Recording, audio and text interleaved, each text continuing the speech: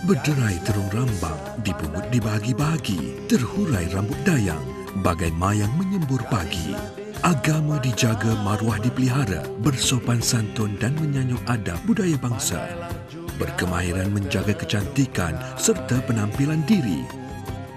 Bijaksana dan berkarisma. Gadis Melayu setiap Kamis 9.30 malam di TV9.